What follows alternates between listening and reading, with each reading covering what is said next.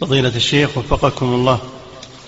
يقول إذا صليت خلف إمام لا يرى الطمأنينة في الصلاة فهل أقطع الصلاة؟ ما تصح صلاته. ما أحد ما يرى الطمأنينة. من هو اللي ما يرى الطمأنينة؟ الرسول صلى الله عليه وسلم أمر المسيء أن يعيد الصلاة كم مرة وهذا ما يرى الطمأنينة. هذا إما جاهل وإما مخالف.